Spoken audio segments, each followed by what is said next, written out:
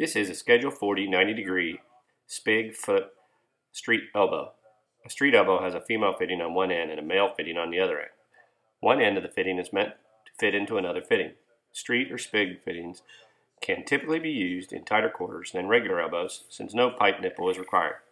It can be connected directly to another fitting without having to use an additional short connecting piece. This street ell has as the spig side a spigot fitting which will glue into another fitting.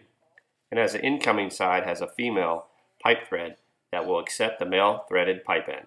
So for example, a 3 quarter inch spig fipt 90 degree elbow will allow a 3 quarter inch male pipe thread to be inserted into one end and, and will cement or glue into a 3 quarter inch fitting with a spigot socket on the other end.